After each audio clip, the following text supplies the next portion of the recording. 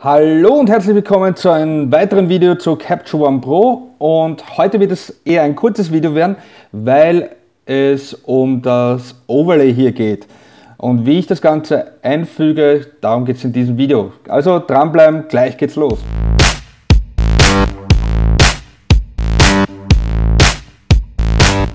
Sind in Capture One Pro bereits drinnen und wir gehen dazu in das Register Bildaufbau heißt das, glaube ich. Ja, Bildaufbau.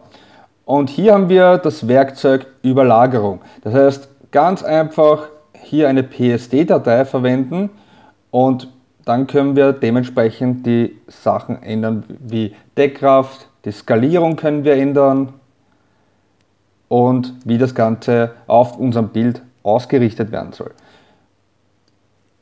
Das kann man natürlich auch mit einem Logo machen oder anderen Bilddateien, aber ich habe es eben für solche Magazincover und ich verwende das Ganze eben, dass ich weiß, okay, wie wirkt das Bild in ein 4 zu 3 Format, beziehungsweise ähm, als Vorschau nach einem Shooting poste ich dann ein paar Vorschaubilder auf Facebook.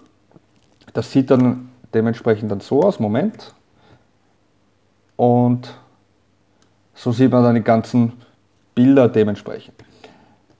Dazu eben, wie gesagt, brauchen wir eine PSD-Datei und da gibt es einige im Netz zum Runterladen als Template und das wäre eben eine auch von mir, die gebe ich euch, also eine andere Datei gebe ich euch dann in der Videobeschreibung als Download-Link und da könnt ihr dann selbstständig diverse Sachen verändern.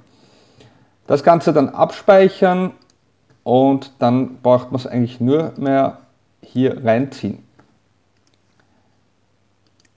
Dazu lösche ich mal diese Überlagerung und ich zeige euch mal, wie das funktioniert. Da hätten wir hier die Datei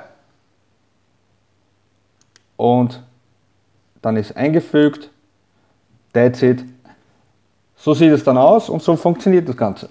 Wenn euch das Video gefallen hat, dann gebt mir einen Daumen hoch. Wenn ihr das Video geil fandet, dann abonniert diesen Kanal und ansonsten sehen wir uns beim nächsten Video, wenn es wieder um Capture One geht. Also dann Leute, Tchau!